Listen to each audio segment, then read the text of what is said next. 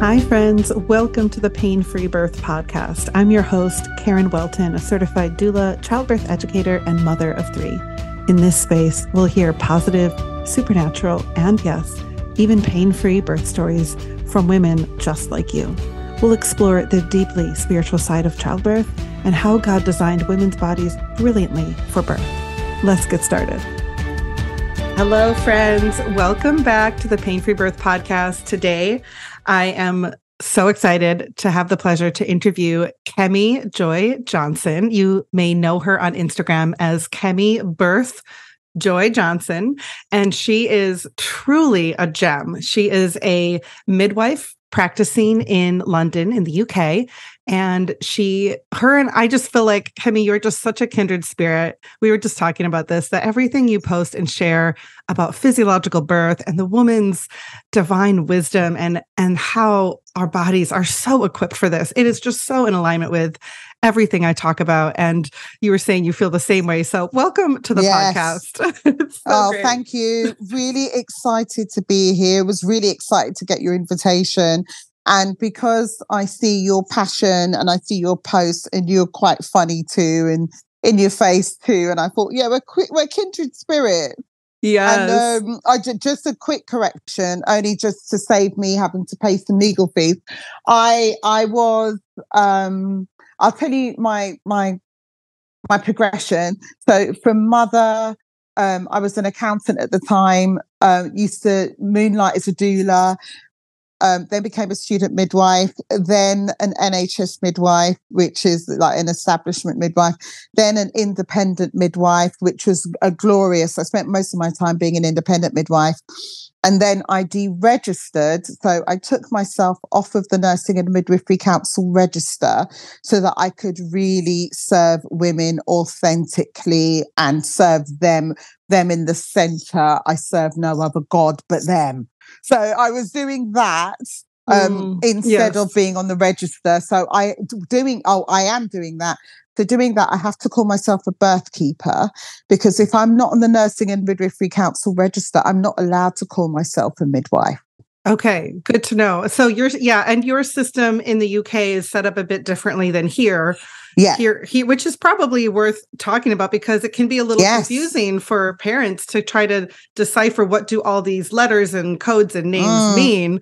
Because mm. in the mm. US we have licensed midwife or direct entry midwifery, and then we have yeah. um, CNM certified nurse midwives, and the yeah. certified nurse midwives go through nursing school first, then get yes. the midwifery license, so they have more medical training and expertise. Yes. So some families prefer the licensed midwives; they feel yes. a bit more holistic. Others prefer the more medically trained ones.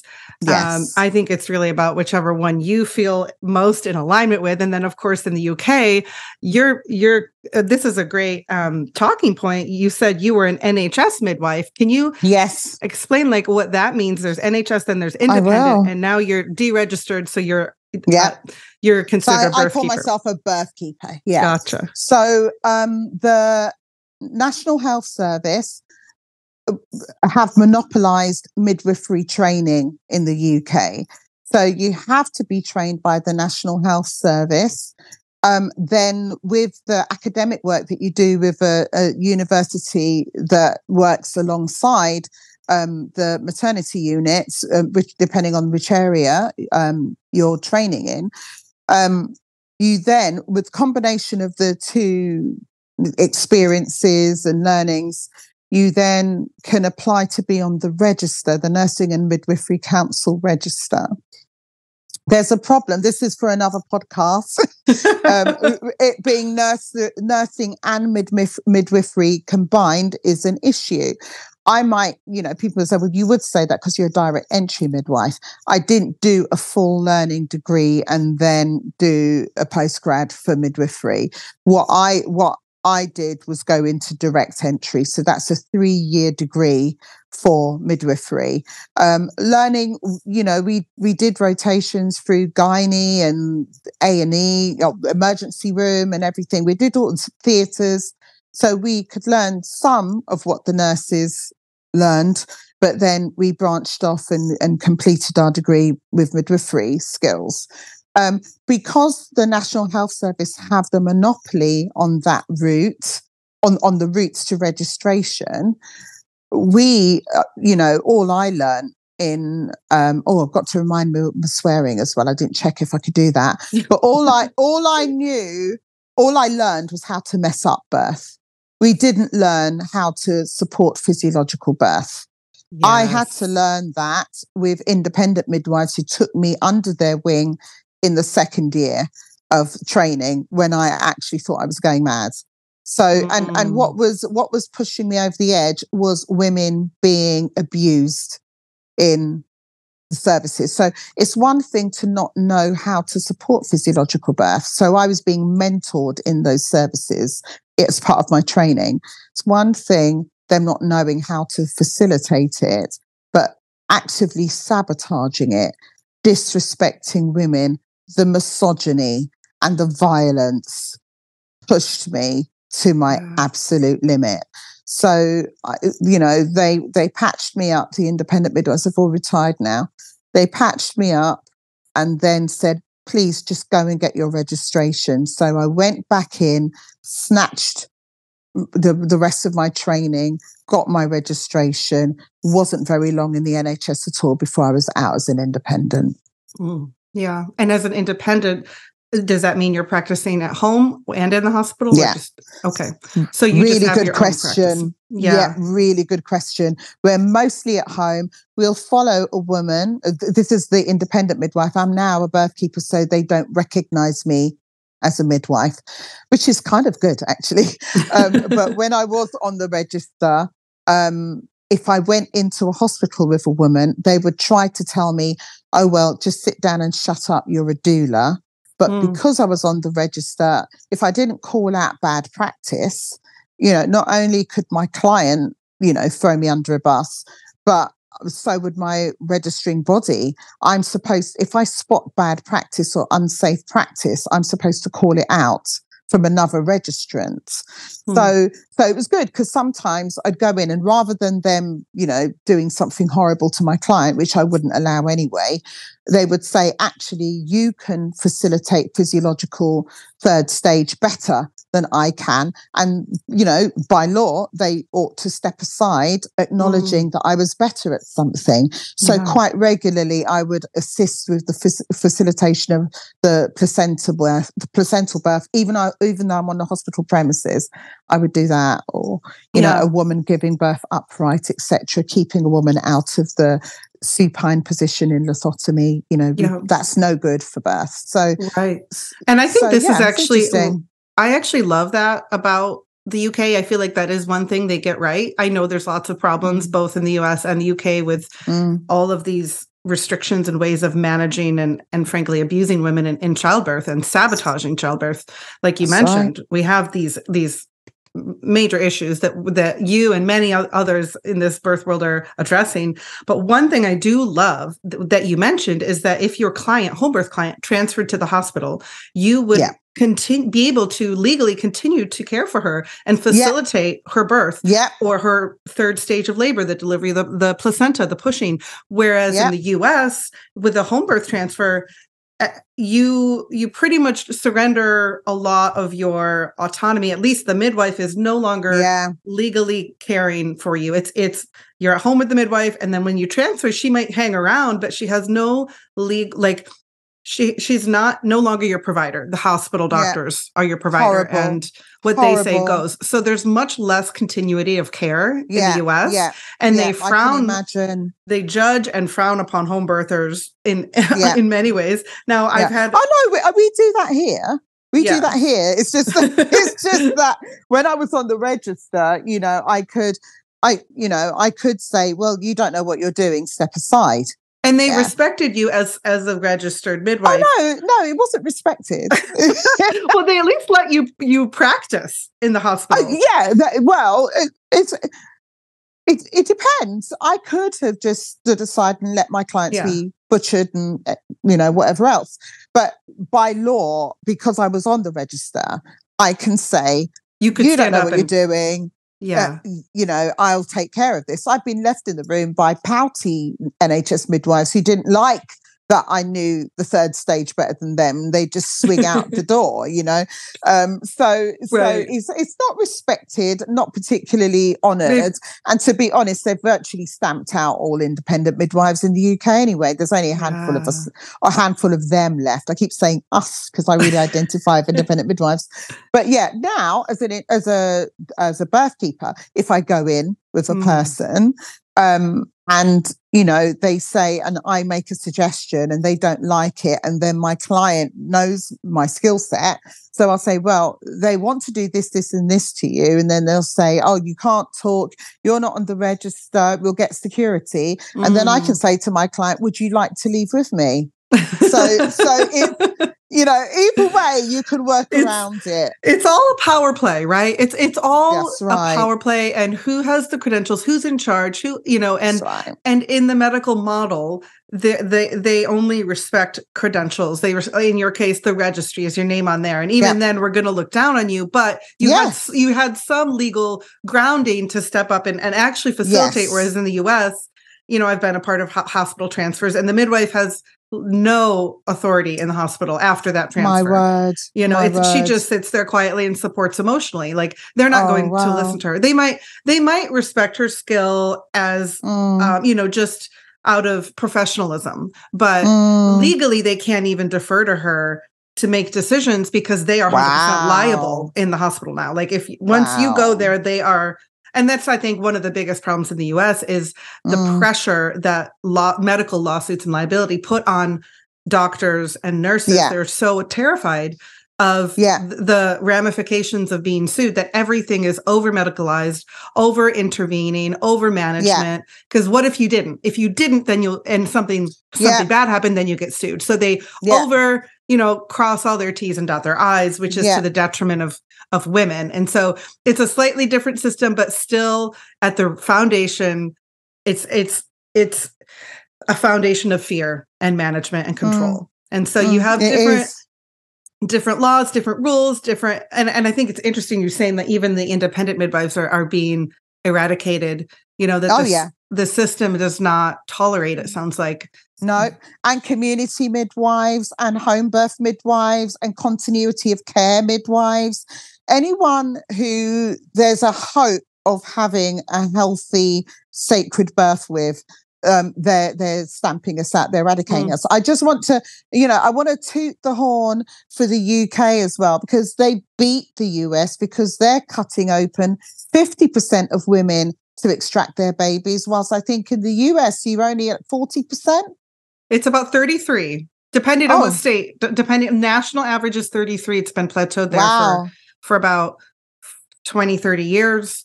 But it depends on the state. Some states are 40, some states, Yeah.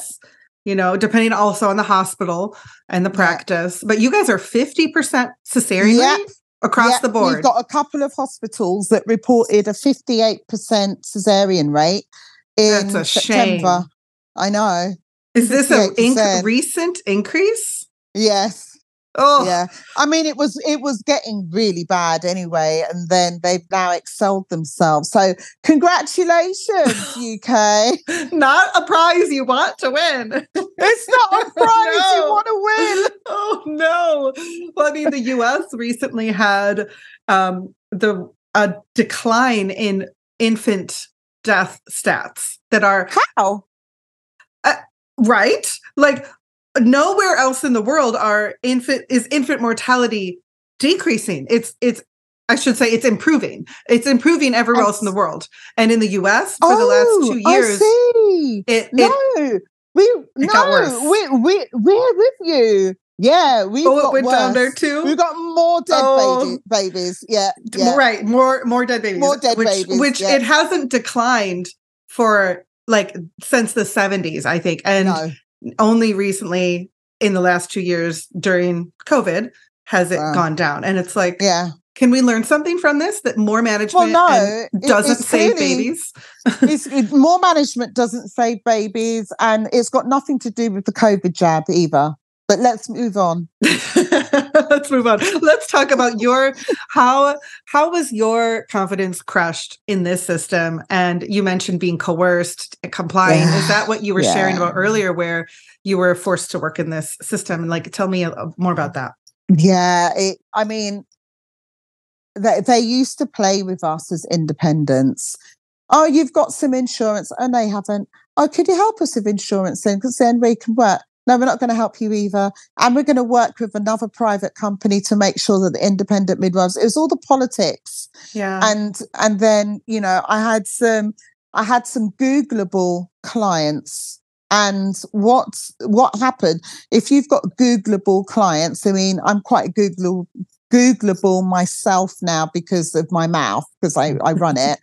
but um, I I had some Googleable clients, and when when there was an insurance issue, rather than everyone behaving like an adult, they assigned a, uh, one person to Google me, find out who I, you know, who's been celebrating a birth that I was a part of, then finding out their contact details and contacting them to find out if I'd attended their births.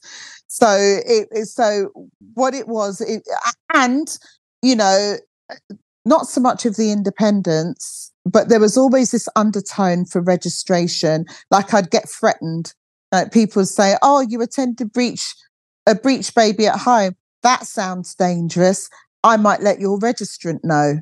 You know mm. what I mm. mean? Like there's all that, that threat all the time of having to sit and answer for why you're using your very well honed skills to help a woman have a healthy birth. Like that yeah. sounds backwards to me. I don't want to waste time doing that. Yeah. So, I, I, and so, and also be real.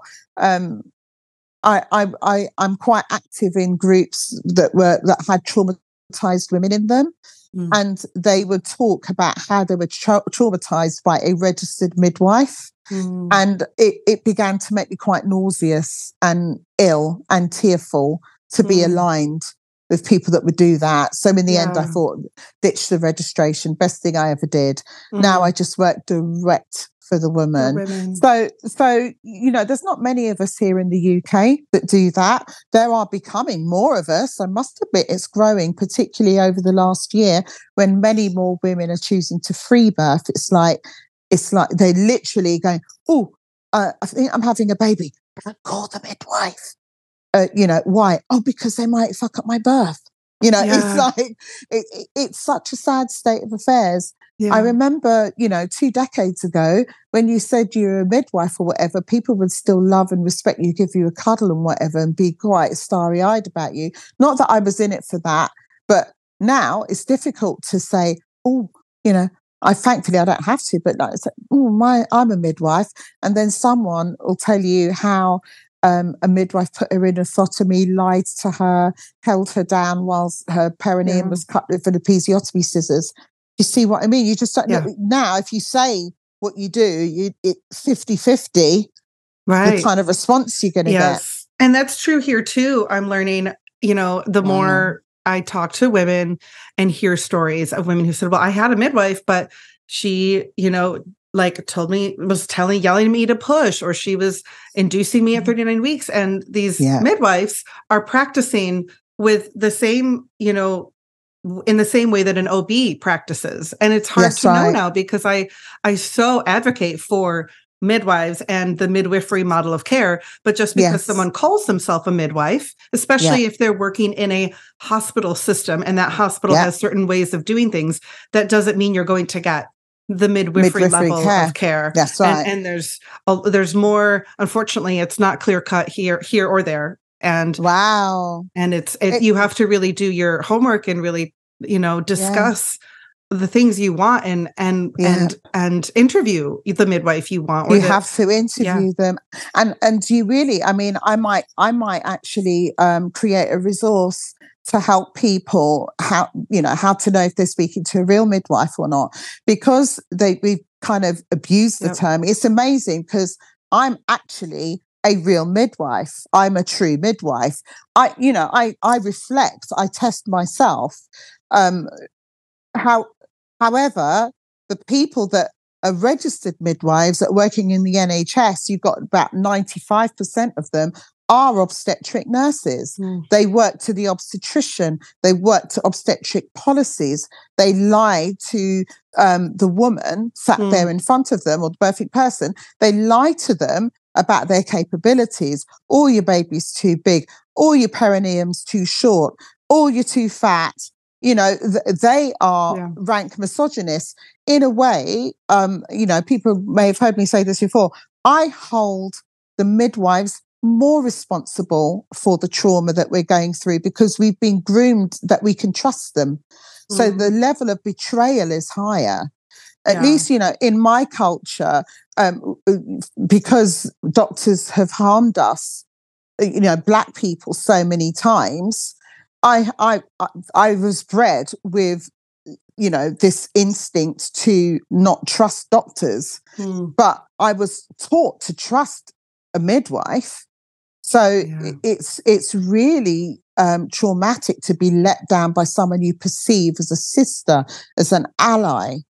You know, it, it's it's a very very unusual, devastating situation to be honest. Yeah, yeah, I can imagine, and I and I and I understand the women who choose to free birth or choose to birth without medical assistance for, for all the reasons you're mentioning because mm. their trust has been so betrayed by yeah doctors or even midwives, you know, who in previous births or in just the research they've done and realizing I don't want that kind I don't want someone meddling with my birth in that way. And yeah. so you do a beautiful job of really yeah. describing you know it's because this is you're you're not just about like well i'm going to attack and speak against the you know establishment or the nhs but we're and and i feel like it's a fine line as an influencer i'm not trying to create fear mm. and make it us versus them and mm. and demonize the medical system mm. even though there's there is much to be you know corrected but that's i don't feel like that's my job and i don't and i know that you have a higher calling as well in this that you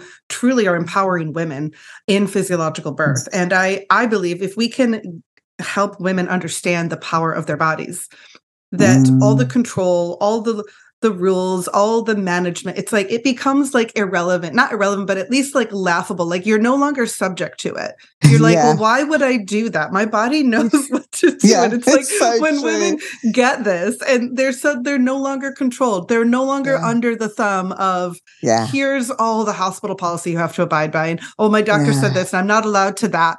It's like all of that is just like BS when we realize the power we carry and i i truly love how you work with women in empowering th- them in their autonomy in their birth preparation and in teaching yeah. about physiology and yeah. i'd love to hear your take on that and what you've learned and in how mm-hmm. you incorporate physiology and just empowering women in physiological birth because a lot of my listeners are are pregnant women or couples preparing for birth what are some of the things they need to know regardless of where they're birthing mm. and actually half my audience births in hospitals the other half at yep. home so i have a really beautiful mix and and, and you of course really do. yeah i empower women no matter where they choose to birth because truly it comes from within like yes, if we really if we does. really get this like not that it's gonna it's gonna be more of a battle in a hospital no doubt but absolutely but, yeah that internal confidence is what really yeah. matters and i'd love yeah. to glean from a midwife who has been uh, practicing as such an expert, truly an expert in mm. physiological birth. I would love to hear I from am. you. How can couples, how can women best prepare for birth physiologically?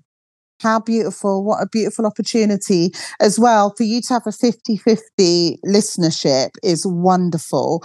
And um, I mean, in this country, we've still got 95% of babies being born on the labour ward or in the theatre. Yeah. So, you know, there's, you know, there's a small amount of people that will genuinely be able to practice what I'm saying because even though it comes from within, environment will determine whether you're actually able to express the fullness of your capability, um, literally by doors being opened, people telling you scary stuff, people coming and standing in front of your vagina with three or four strangers to tell you scary stuff. That's all going to affect what however strong you are inside so you know part of my part of my um, what i want to express to people that want a spontaneous physiological birth is you're really going to need to buckle down to figure out why you feel you're safer out of your home where does that come from? Where does that belief come from? Um, just to give you and your baby the best chance of not being harmed. We've done the studies too many times. You and your baby are subject to more harms on the on the labour ward, or um, even if the so sometimes the studies look at certain parameters and outcomes. Um, and you'll never see them measuring how many babies received um, an optimal microbiome via their mother's vagina, you won't see measured whether the babies received their full blood complement. So, you know, when here in the UK, when an eighth of an adult blood complement is removed from them, you know, i.e., 500 mils, you get a cup of tea and a biscuit. When we cut away, uh, you know, when we clamp off a third of a baby's, a third much bigger than an eighth, a third of a baby's blood complement with, you know, delayed cord clamping, which isn't long enough, or immediate cord clamping, the baby doesn't receive anything to compensate for that loss of fluid, right? So, you know, so I, I really would encourage, well, what I do when I'm preparing couples is encourage them to see that they cannot outsource their safety um, to the labour ward when it's been proven time and time again it's the least safe place for you and mm. your baby to give birth, except in exceptional circumstances. You know, every single person I've looked after, whether they be type 1 diabetic, um, you know, essentially hypertensive, um, whether they have seizures, whether they've got a BMI of 45, they've all given birth safely at home. Mm. It can be done, um, you know, with intelligent um, experience care. So, but take it back to literally what the couple can do. Um, first of all, start considering preconception, what your current health status is. Have you had blood work, tissue hair analysis? Find out what your um, if if there's anything that you can improve mineral wise supplement wise yeah. um, look at what you're eating um, you know as, as your if, if you've got a male partner it, you know how is his sperm and semen kept? Is he wearing tight um, shorts? Is he smoking weird stuff you know uh, all of this take it if you're planning children it's it's your responsibility to be in your best health yeah. if you're if you're planning children it's your responsibility to ensure that you have the resources to buy your village because village you know the village it takes to to raise a mother and her baby um, used to be in situ. You lived with them, you lived next to them, you, you, lived in the same compound as them. That's not the case anymore. You have to buy them because who used to make up your village may be part of a household where they need two incomes. So your mother can't take three months off to assist you anymore. Or, you know, she may not have a pension. Or you, you know, your your father may have been laid off there's so many reasons why you need to buy a village now. If you're planning your children, it's your responsibility to plan your resourcing of your village and and being just straight up. Yeah, if, no, that's a the, good, good a good word because it's true. It's not free today.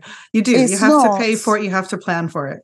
Please. Yeah. Otherwise, you're going to sit there and be alone and bitter, like looking for your village. And yeah, that unfortunately that is just the reality of the modern culture we live in is that we have to re- allocate resources to yeah. pay for a postpartum doula, a pelvic floor yep. therapist, you know, yep. meals. I mean, meal yep. trains are great and pulling on the resources and family and friends you have for support. Though and recognizing those people who are going to support you and not just come over to hold the baby. There's the big difference. Yeah. Oh my goodness. Words got to be said. Yes. Honestly, you don't need that. Your baby just needs to be pressed against your chest, pressed against yours or their father's chest. That's that's it, please. Yes. It's um it, you know, and and I agree with Karen. The meal train serves a purpose.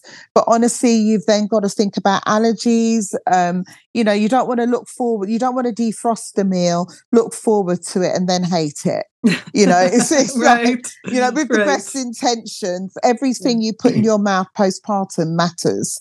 And in all honesty, you know, I recommend people like Lily Nichols, um, Yes. you know, the first 40 days, etc yes. how you know lily nichols says how you eat postpartum actually makes i- i- is more essential than how you eat during your pregnancy. Mm, like yeah. how you eat postpartum is everything. So Wow. you know Yeah. and and you know prepare yourself for breastfeeding. You know a lot of people want to argue about it. There is the uh, the, uh, the argument settled. Breast um, milk has the constituents required to grow a healthy human. Human milk for human babies okay Yes. there's no two ways about it everything else Yeah. everything else is a substitute Yeah. and you know, you know, don't shoot me. That's just the way we're made. It's, it's true. right? I know it's Yeah. true. And I, I just love that you, you know, talk about this when when I ask about physiological birth and what how a couple can prepare. You don't just talk about the birth as a midwife. You are interested in the their holistic care from Yeah. but con- preconception through Yeah. postpartum. And I, Yeah. and I'm listening, sitting here listening to you saying this is a true midwife, a true midwifery model is someone who's you. interested in that family's entire childhood, pregnancy, family planning journey. What are you Yeah. doing in preconception to stay healthy? What are you doing in pregnancy to eat healthy? What what is Yeah. your partner doing to have healthy sperm? How are you preparing for the postpartum? You're Yeah. like a doctor's not going to ask you those questions in a hospital. An OB will No. not give two rips about what you eat in your postpartum period. And this is truly, if you're sitting here going, well, this isn't how to prepare for birth. Yes, it is. Yes, yes, it it is. is. oh yes, it is. and this I'll is, tell you. This is oh. a midwife who's going to ask you about these things. And if I doctor or midwife is not asking you about these things, it might be time to find someone who does truly care about you you. need to find someone who really Yes. cares about you, really cares about the building blocks of your baby, really cares. I was speaking to a mother the other day. You know, I'm jumping around a bit, but hopefully um, the couples will get it. You know, I was speaking to her. Um, she's so beautiful. Um, she went on and had a home birth after cesarean Yeah. at home. But an early conversation we had was, oh, you know, um, how how is your body? Because her first birth really didn't go according to plan. So I just started, you know, eventually after a bit of a conversation, I said, So, how- what's your body like? Like, you know, do you have aches and pains, any previous injuries? And she started laughing because she said, like, her whole childhood, it's as if she was intentionally trying to break her body. and I said, and I said, and then you expected, you know, a perfect human to emerge from this broken body. And she was laughing. And then, you know, she said, but I said this to the midwife the first time and, and she had nothing to offer. And I said, well, yeah, if you've got injuries, that means you may have referral pain. That means you may be carrying yourself in a slightly different way that may not be conducive to a baby coming out of your vagina. So you, you've got to think about previous injuries. You've got to think about what modalities you're using for injuries. It's like some people have said, I've got a great chiropractor. I go there every two months and I have adjustments. And then I ask them, I say, so why are you having to go every two months? Like, Mm. what's happening? and then, you know, from my study of fascia, and I think I will become a Bowen therapist because I'm so fascinated by it.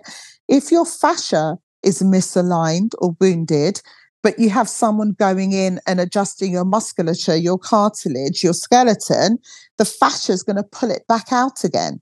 Yeah. So that's why you need to repeatedly keep going. Whilst for me, I can go to my Bowen therapist and not go again for a year Mm. you know Yeah. and when i go back it's, it'll be for something some other silly thing i've been doing with my body like you know hanging out of a car window you know slanted and stuff like that or having a bad mattress or something so you know the other thing i think about is your body alignment so as muscle the so as muscle um holds fear, um, fear and tension Yes. you know uh, so you know what are we doing with that? We can't just do physical things with it. We have to go to the seat of the problem the fear and tension. Where's that coming from? What's happening in your mindset? Have you got buried worries?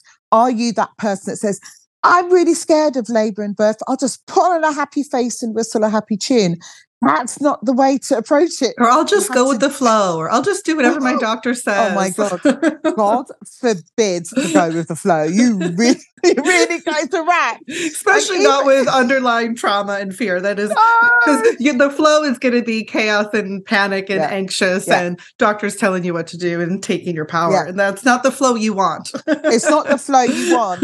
And what I always say as well in my posts, I try and say, if you're not going to do it for you, please do it for your baby baby. Yes. Because a lot of us feel, and I'm myself included, feel, oh, well, I'll just do this. I'm really uncomfortable about waiting till my baby sends their signal. So, uh, you know, if I've not given birth by 41 weeks, I'll let them force my baby out. Mm. Have you uh, have you thought about the effect on this little human? Right. Yeah. Yeah. Right. That you, maybe, that you really, really want to be good to. You really want to love this human. And the first act, you know, where, where you really have power is you you disregard this little human yeah. and have them pounded out of your body with pitocin. Yeah, I know. Yeah, it's, it boggles my mind how we so rarely consider the experience of the baby in the birth process.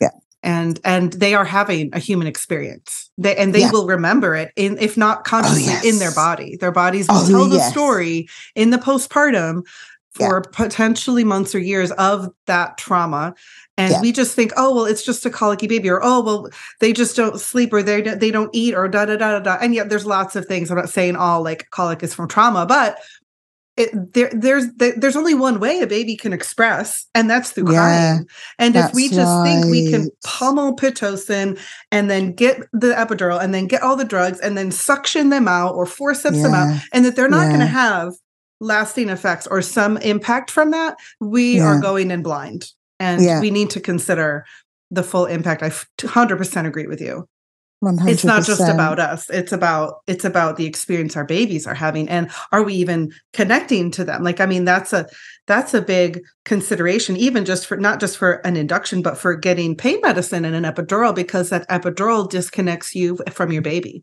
and they're 100%. now suffering the intensity of the contractions without that maternal Alone spiritual connection right? They're doing it yeah. alone. And there's ways you can you can intentionally bond and in that you know in your intuition in your spirit reach out to them but it changes the experience. And That's it, and it changes the labor it changes the physiology it, it changes the entire ball game once you introduce drugs in the system. That's right. 100% couldn't have said it better. And so it's those kind of thoughts that I would love parents to have in mind um, before they become pregnant.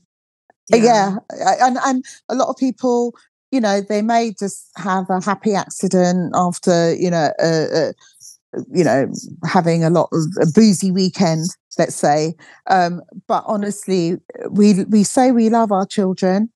And you know, I, I'm speaking to myself too because I don't want anyone to not realize that I too accepted an induction that cascaded to a cesarean for my first child. Mm. So I'm, I'm, I'm just saying, uh, don't do what I did. Okay. Yeah. I want, I want you to really think about it. And even if, you know, you have a boozy weekend and find yourself pregnant, um, please, from that moment on, do everything you can to enable you to have the the whole health and the courage to stick by your baby, even when 36 weeks hits and you're showered in the dead baby card. Mm. So that you know, and and they're all at it, and it's mean. It's yeah. mean to threaten the well-being of a baby, a mother with the well-being of her baby, and they do it after 34 weeks when your amygdala, the little risk uh, assessment part of your brain, um, is very sensitive because you can't see your feet and your center balance is completely off. And so you're feeling extra vulnerable. You couldn't really run from danger and things like that. So your amygdala becomes more sensitized. It's a, an amazing adaptation, except you're doing it with criminal, hell bent maternity services. So they know that after 34 weeks, they can pounce on you with any irrational fear and you'll suck it all in and be very malleable and do exactly as they say.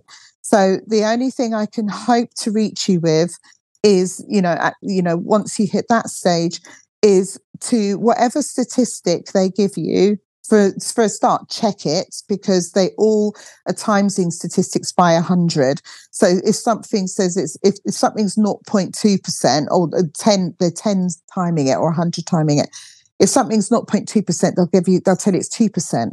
If something's 2%, they'll tell you it's 20%. Or it's because two times more risky or 10 times oh, more likely. Yeah.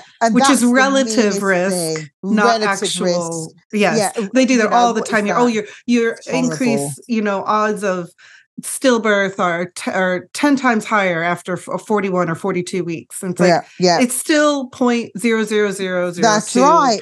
If you ask That's them what right. are the actual chances of stillbirth, yeah. get the actual numbers because they yeah. make it sound so scary. And when you have yeah. that very tiny number multiplied by 10, it's still a very tiny number. It's now that, that number. might be too big a number for you, but it's your right mm. to know what the actual number is and then make that decision. Absolutely 100%. And as Karen says, you know, it, it may be, it may, if it's too big a number for you, I really want you to feel into that. I want you to feel into what am I going to put me and my baby through because I think that number is too big? Right. So, mm. and I will tell you, most of the risks that they're waving in front of you, for the vast majority of you, are a difference of 0.1 or 0.2%. So let's take, for example, in the UK now, we've we've had more or less a doubling of the stillbirth rate. So it used to be two percent, but not 0.2 percent. Forgive me, 0.2 percent, guys. it used to be 0.2 percent. It's now around 0.4 percent. Um, but it's got nothing to do with anything that's happened in the last three years. But we'll move on right? So I'll have so, to pick your brain about that later. I'm so curious. so essentially, it's doubled. Yeah. But, but so they're making all of these suggestions that include like a little screw, which they'd like to call a clip, but it is a screw that goes into your baby's scalp to monitor the baby and everything else. And the pitocin, uh, we're going to end your pregnancy right away with some Dilapan rods or a balloon catheter, all the other weird and wonderful things they've dreamt up to do to women. A panel of men usually. Um, so they yes. so they're doing all of that to reduce um, you know, because they they will tell you that your chance of um, cuddling your baby, a live baby after this pregnancy, instead of being 99.8%, is only 99.6%. But so you can see, and like I say, it's doubled, the risk has doubled, right? Yes, and you'll go, oh my God, that's why you've got to flip the stat. Whenever they give you a real stat, not a fake one, so you might have to dig for the real one. Your people standing in front of you usually don't know it. Um, so find out what the real stat is and then take it from 100 and then you've got your percentage. You will always find that you've got at least 99% chance of cuddling your well baby, you know, until they don't want you to cuddle them anymore and they want to borrow your car and you know, bring their boyfriends home and stuff. It's it's. It, I, I'm telling you, you'll see it's a tiny figure. And then, if you're still not willing to take courage for your baby, ask yourself why not? Why aren't I able to live with a 0.2% difference? Mm. Why aren't I? So you need to, and these are, this is the deep Those are good work. questions. Yeah, those are good questions. This is the deep work. This is this is where you've got to question what you think about death because literally none of us are getting off of this planet alive. None of us, not one. Okay. So you've got to examine your feelings about death. You've got to examine whether to you there are things worse than death. There's somebody I'm very in full admiration of at the moment, a mother, um, Katie Spinks, who is speaking out on Instagram about what happened to her when she accepted an induction because everyone's clutching their pearls thinking, did one of them die? Well, no. Um, her daughter is very harmed. And mm. so you, you, yes, you and she's living with that. And it's changed both of, well, her daughter's life is a challenge yeah. and, and her life has changed forever. And so you, you've got to you've got to question yourselves. What are you prepared to put your, if not even you don't care about you, what are you prepared to put your baby through because of uncomfortable feelings Mhm. ab- Yeah. about your birth and your, your pregnancy ending spontaneously? Mm. So there's a lot of mind work I want. But I, you know, if you're thinking about having children, you're planning children, you've got to dig down into your value system. Does it match your partners? Are you on the same page? Yeah. Are they are they are they full of fears and biases that means that they will throw you under a bus Mm. just for, yeah. just for self preservation because they can't cope with uncomfortable feelings? Yeah. It's, these are things that you've got to ask yourself. Does your partner trust you? Do they actually trust you? Because the baby's inside of you. So there needs to be 100% trust there. Yeah. And if there isn't, it could cause a problem. Yep. That's good. That's a really good word. Like learning, I think that the journey of pregnancy, in many ways, for women, especially first time moms, is really so much about learning to step in our own confidence and power and not outsource our uh, faith or assurance to someone else on the outside. And I hear women all the time ask me and DM me like, "Oh, my doctor said this and this, you know, what should I do?" Or like my my midwife or my husband said this, they're not comfortable with home birth, they're not comfortable with or that I, I should get an induction because I have XYZ thing going on. You know, what do you think? I, and I obviously I can't give medical advice. I'm a doula. I'm not I'm not a midwife, but I also recognize there is this need for assurance and like a grasping for I need somebody to tell me it's safe to do what my Yeah. gut knows I'm supposed to do.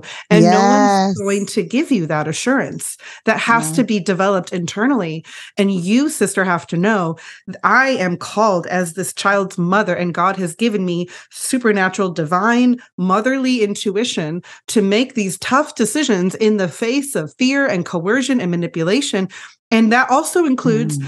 the decision to maybe go into the hospital or get the medical assistance you need because you know intuitively something's off and something's not okay with my baby. It's both and. And it's not that anyone can assure you 100% your baby's going to be okay. Nobody, if they if a doctor's telling you that, report him because nobody knows. Nobody can tell you. Nobody knows. There's no no one can assure you if you have a home birth, if you wait until 42 weeks, or if you do or you don't, that everything will go perfectly. There That's there's right. always risk. There is and there is absolutely risk to an induction, to birthing in a hospital. There's risk to waiting. But know those risks, but and even more importantly, know have the assurance in yourself because that knowing goes deeper than the the stats and the point zero zero two percent chance and comparing this versus that and all the opinions of everyone around you. It goes deeper. The knowing and connecting to your baby. And is is this baby okay? What's going on? Is my body okay? Is my body healthy and functioning? Or do I need some help? D- does my body or my baby need some help in some form, whether that's supplements, whether that's a medical intervention, whether that's a, a you know, a castor oil pack or, or you know, whatever it is there's lots of options but don't run around like crazy like a like a chicken with your head cut off thinking i got to get this baby out because somebody scared you that he was that that baby was about to die and your placenta was about to fail. You know you know inside this is this is what your intuition is saying and stop looking for reassurance to everyone else around you Yeah. when when it Yeah. that knowing comes from within it comes from your source. So that's oh i don't know i got on a rant there but i felt like somebody needed I- to hear that. Yeah, I was just thank I you would for love- saying that. I want to ask you about pushing and how you coach Mm. women or or not coach women or how you facilitate or support I should say support would be a better way to ask it. How do you support pushing or the pushing stage with your clients?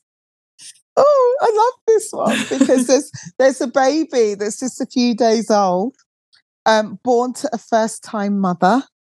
Um, she prepared really well during her pregnancy. Um, me, her, and her beloved, we had quite a few uncomfortable conversations because they're first time birthers and they were preparing in a way that most people around them weren't preparing.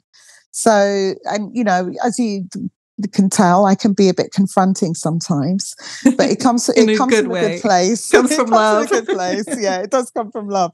Um, and then she went into spontaneous labor and she was having a home birth and she was in the pool and she's being beautifully served by her husband um her sister. So they're not related but she's definitely a, an angel walking on the planet and her beautiful humble mother.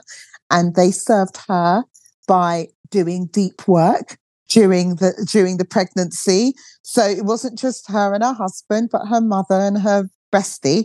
They also did the deep work and then the labor started and the physical ardor of it um, it was very arduous um, because it was her first and you know you don't know what you don't know and there's a lot of unknown and unexpected and and it's all clicking together nicely and i'm not saying a word okay so you know people might say god what did they pay you for kemi?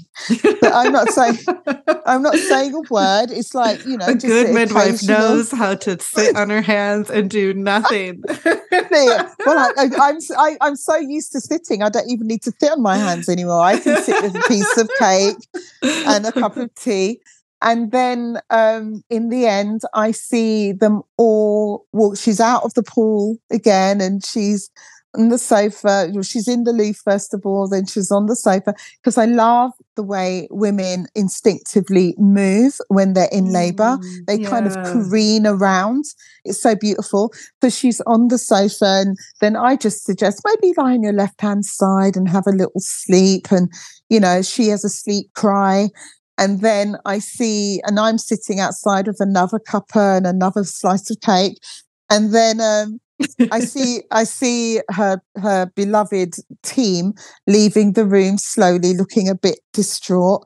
And I said, "What happened?" She said, "Oh, she told us to get out."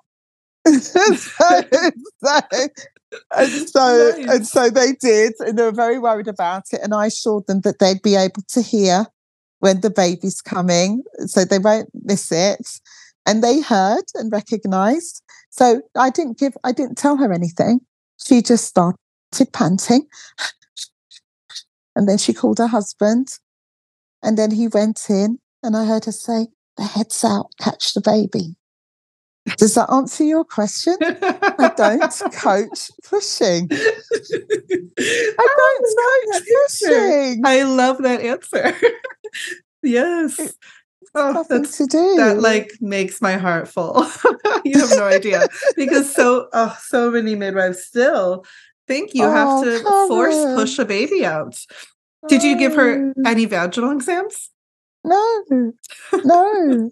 So so what you're telling me must come down. she, she you're telling me she knew intuitively, oh, I need time alone, kicked everybody out. Yeah, yeah, Um, that baby descended. She dilated Yeah. fully. Her body Yeah. pushed the baby out, yeah. pushed the head out, and then she called Yeah. her husband to catch Yeah. the baby.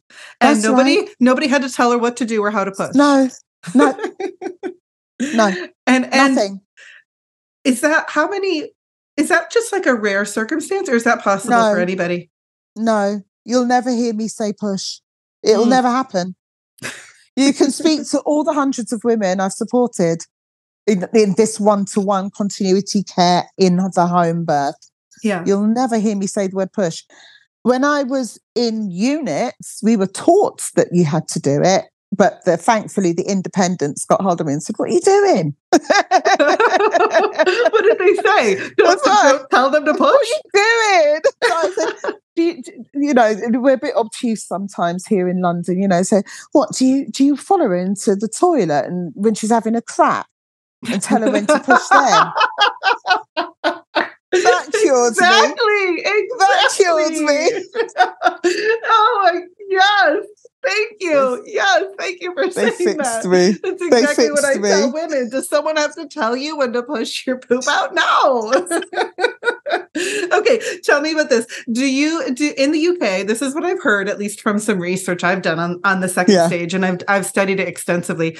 Um, I've Ah. heard in the UK that they don't. They did a st- study years ago because they had Yeah. extremely high rates of severe tearing, like third and fourth stage tearing. And so Yes. they implemented this new program at one hospital that said, we're not going to coach women to push. We're not going to say the word push. So they said, you're not allowed to tell women to push. And so they didn't. and the rates of severe tearing drops like 90 something percent from like it was like a 7 or 4% I can't remember exactly to like less than 1%. And it was so remarkable that they said we're implementing this all over the UK. We're not going to coach women to push or tell them to push. Yeah. And that they now I don't know if this is happening with all the, this was years send ago. Me, send me the research. Uh, I will. Yeah, uh, but ch- childbirth is thousands of years old. Oh, I know. So there's there's lots of old research that bears water unlike today where the majority of research is you know by industries that are making money out of the outcome. So right. they skew the hunches. Yeah. So but it seems like that there's that at least some some understanding of that passive second stage where the baby is descending and rotating before after after the mom is fully dilated okay you're 10 centimeters and before they start pushing. Because in the us that that stage that time period doesn't exist it's oh it doesn't exist no you're 10 centimeters it's time to push and they wow. might say okay well we'll, we'll give it we'll wait until you have the urge and they come back 20 30 minutes yeah. later okay yeah. you have the urge to push and the mom's like yeah, yeah i feel the pressure and they they don't know so they go i guess so yeah i feel i feel pushy yeah. And I tell women pushy is not the same thing as it's not the same. The overwhelming urge to push, and your body's gonna it's okay if you feel pushy just yeah. let because all those things there's many things that have to happen that internal rotation and dilation that yeah. pulling up of the cervix there's and i i've heard they do a bit of a better job with the pushing phase in the uk now maybe that's shifted with the well, the wiping out of the independent midwives but um well here, here we butcher uh, it do you know i think you're amazing to remind our listeners that things are changing things things have changed obviously markedly for the worst but we do when i was being taught midwifery so that was in the noughties we did seem to have an appreciation of if a woman had had an a first time birth I, I think i can't remember the rules it's so long since i've worked in those environments but um, i think you've got two hours passive descent before yes. pushing Yes. If you had, if a first time birth had an epidural on board or something, um, you got one hour if you'd given birth before vaginally. So I think, yes, I remember yes. um, that alone, that, that alone is, is unheard of here. We don't we don't have those. Unbelievable. Not none. Of, there's no two hours or one hour, and I mean, and it could be longer. It, it, it's even to set a time limit is very like archaic and and yes it is linear and birth is not linear yeah. so even to say oh you get two hours and then you have to push is is not is problematic but the fact that they yes. give you two hours as standard whereas in the us it's there is no two hours it's 10 centimeters yeah. All right let's get you on bed and yeah. you're on your back and start pushing and it Horrible. creates so many complications babies getting yes, stuck does. four yeah. hours pushing fourth yeah. degree tears yeah. because we didn't allow that baby to descend and yes. it boils my blood because it is standard yes. practice here and doctors have no comprehension of that passive descent that you just mentioned and at, at least it's mm. it's there's some knowledge of it there but it's it's my soapbox some here. no, uh, right i'm really glad it's your soapbox i'm actually uh, I, I'm, I'm going to go after it here because what sabotages we have of that process is like having a woman in lithotomy yeah. or saying to a woman i'm going to have my hand all over your perineum mm. we've got something called a perineal bundle or OASI care yeah, tell, bundle. Tell, tell listeners which, what that what that is. Oh man, do I have to? Because it boils my blood. It's, it's, okay, it's, we have that here too. We might not call it the perineal bundle. We call it like managing the the second stage or the third stage, yeah. depending on what where it falls. Just mean. It's just mean. Um, yeah, we've drafted it in, and eh, like any other thing that's poorly evidenced and against birth physiology, we like to implement that faster than anything that's actually helpful for birth. So, you know, women are having strangers talking to them when they're about to meet their baby, um, telling them that they'll tear from front to back unless I have my hand all over your genitals. Mm. So it's not it's not a case of oh I'll give you a warm compress to keep you comfortable. It's this deceit that if I if I hold your um if I hold your perineum in a grip, something called a Finnish grip, if I hold it, then that means that I am responsible from, for preventing you from having a horrible tear, except they're having horrible tears at the front instead, urethral and clitoral tears. Oh, because wow. because the energy of the push is being directed up towards the vulva mm. rather than the perineum that is actually made. The perineum is made for tearing. Right. It heals so beautifully. Yeah. It can heal without sutures. Yes. But in but instead, you know, because of the small percentage of third and fourth degree tears, which we know would have been caused by induction, especially with pitocin um, IV, it changes or force the way pushing with your legs really stretched up so that's it's right. stretching that perineum too that's right because if you've got lithotomy position just like karen said you're bringing the perineum in front of the baby and the baby is going kind of with gravity towards the perineum yeah. so how can it not tear it has to go through you've it. got it has to go through it and it doesn't have to go through it but the way they position you right. what else can can happen then would you say let me ask you this along these lines would you say that all, most all third and fourth degree tears are due to how the the team managed that stage mostly occasionally you'll have a woman that's rushing so mm. she's rushing to get the baby born because of some yeah. sort of fear.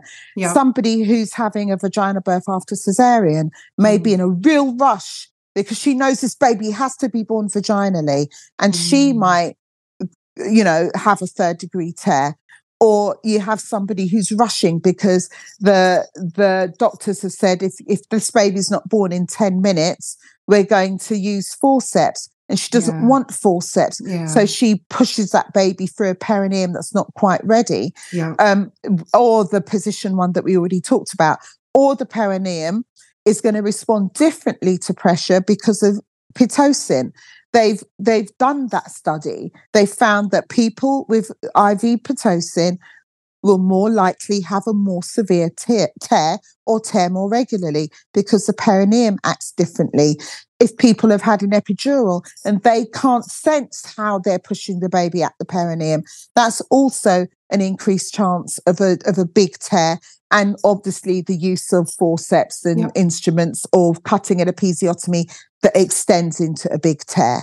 Yes. So, with all of that, they've not changed any of that, but they just want to have their hands all over your vagina. Mm. Yeah, this yeah. this is you know all those things that I've mentioned yeah. that could be changed or improved. No, we don't want to do that. We just want to in- increase the intervention. Right. Yeah. And I've seen I've seen midwives with their hands all all stretching the perineum as baby's head is coming out.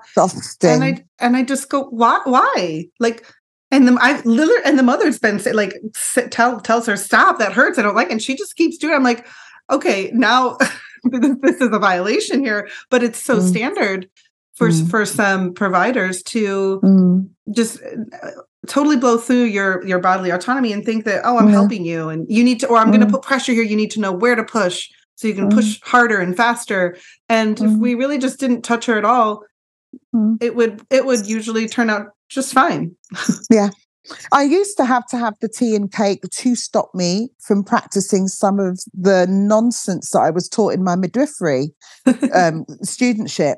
But now I just prefer life that way. So I don't do any of those things anymore. You see, uh, here the uh, midwives knit knit. It's the, the yeah. granny midwives oh, and yeah. the knitters. Yeah, yeah. You you tea can, and cake. I love I, it. I I used to do knitting, but now, yeah, the cake the cake has it. But um, I feel like what you're sharing is such gold. And I'm really hoping that more and more people will hear this logic. We're not saying that things don't go off piece sometimes. Of course they do. Um, everything in life, they've got this slight room for things to go the way you don't want them. There's some people that can't breathe normal air. There's some people that can't go out into the sun.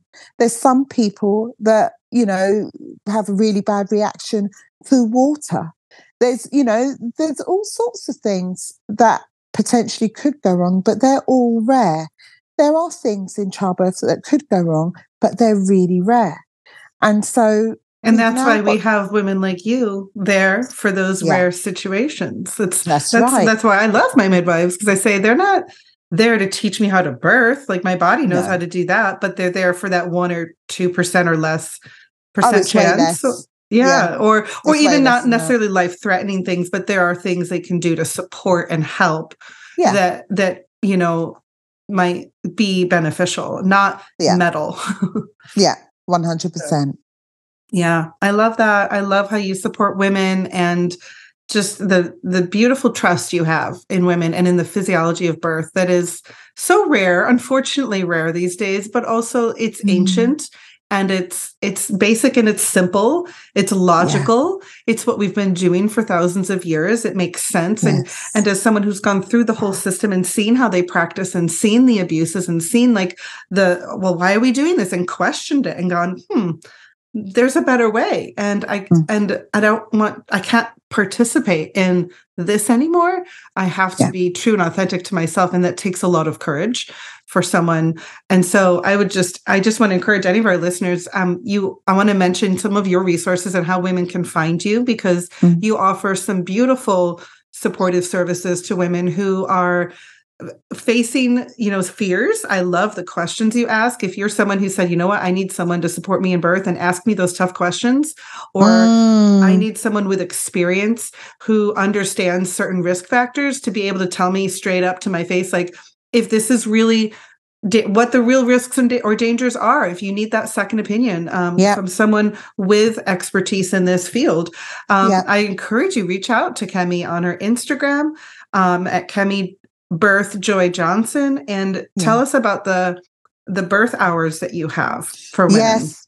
So i have power hours. I notice a lot of people are having power hours now but what mine includes it could be time spent planning um, a pregnancy a next pregnancy. Say if you've come through a birth that you know had challenges in it and you'd like to know how to set yourselves up as a family for an next pregnancy and birth. We could we can talk about that. We can talk about a particular instance that's happening in your pregnancy.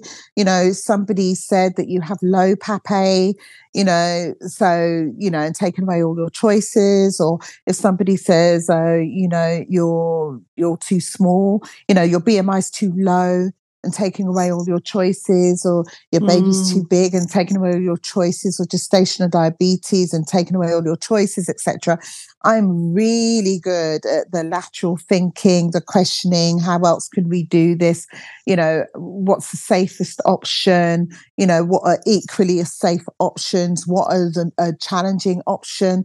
You know, and and everyone's heard me talk about physiological birth all day, but you know, two weeks ago I recommended a planned cesarean for somebody, and um, you know, so I'm not this person that yeah. you know is doggedly. Now I'm curious, what what what why did you recommend the cesarean?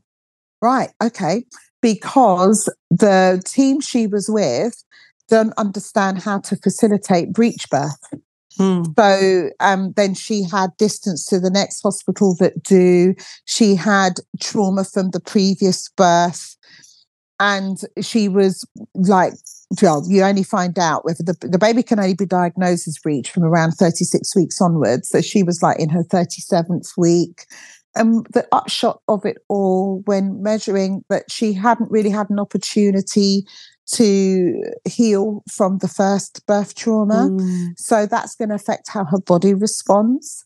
Yeah. And the fact that the team serving her sadly allowed themselves to be, well, it's criminally allowed themselves to be de skilled. So they weren't mm. aware how to safely facilitate a breech birth. Yeah. Um, she had um, budgetary issues. So she couldn't hire an expert to come to her home. And she had a partner that really wasn't ready for yeah. a physiological birth of a breech baby. Mm. And so, when taking all of that into account, despite me being able to give her options and send her links for the options, my recommendation was a planned cesarean at mm. the hmm. unit that she knew. Yeah. Um, so then I, you know, obviously the later the better. So, you know, kind of wait for when you're feeling like the body is preparing to let go of the baby because your body expertly holds the baby in with this lovely thick cervix, this thick long cervix. And then as you start to get, you know, more mucousy discharge where your mucus plug is starting to come away and you know, the more you're looking to check what time your hubby's coming home and things like that. That's your body, you know, the more colostrum you're waking up with, you know, mm. you're crusted onto your nipples oh, yeah. overnight and things. Mm. You know, all of those are signs that your baby is coming into land. And when you're getting those signs is an is a kind place to mm. plan the cesarean for mm. rather than planning it weeks in advance for yeah. a, a, random number. Wow. So most, most that is so beautiful. I just I I just want to comment on how I I love how you took all things into consideration in her life and in her preparation mm. and her situation, whether financial and, and emotional and mental. And and for her that that was in in your expert opinion the best option and and, and it, two things it goes to show like yes, we can birth breech babies. We're fully capable, but that doesn't mean it's right for every woman 100%. to pursue a home breech birth. There are all these factors that you mentioned. And two, we can have a cesarean and still treat ourselves and our babies and our bodies humanely and yes. honor the physiological yes. process happening even as our bodies prepare for labor with paying attention to those signs that you mentioned that we can honor our bodies in uh, its preparation to give birth even in planning a cesarean. It doesn't mean oh everything's out the window. We're just going to yeah. have a cesarean and and and it's like this failure in a sense. And it doesn't yeah, have to be that way. That. we can we can make an honorable like intuitive wise decision and still honor our bodies right. in other ways even when medical intervention is the best option. And so i actually think that's brilliant and i love that you shared those details I'm, I'm really glad that you gave me an opportunity to share that because, you know, the power hour really is an hour of power. It's not just a um, power hour for people having spontaneous physiological free birth. You know, it's it's for everyone. Hmm. Um, I'm not going to ever lie to you though. If you, you know, if you're saying, oh, you know, I want to have an honouring cesarean because there's an R in the month, then I'm, gonna I'm gonna tell you the truth. Your baby would prefer a physiological birth, you know, that's gonna set them up better for health, you know. But but um but yeah, but we'll always have an honest conversation. I'll always mm. leave you for something with something to think about anyway. I love it. I love it. So if, if anyone out there wants an honest conversation, make sure you hit up Kemi and yeah. and participate in those power hours. Well, thank Perfect. you so much, Kemi, for for coming on the show and sharing your wisdom with us. It is it is it's just gold. There are so many gold nuggets that I I think we have to walk away with from this. And thank, thank you for the work you do in supporting women. It was a pleasure to have you. Thank you for listening to this episode of the Pain Free Birth Podcast. If you were encouraged, it would mean so much if you left us a five star review and shared this with your community. I'd love to connect with you on Instagram at Pain Free Birth. And to learn more about the Pain Free Birth e course, free resources, private coaching, and upcoming events. Find out more at painfreebirth.com. See you next week.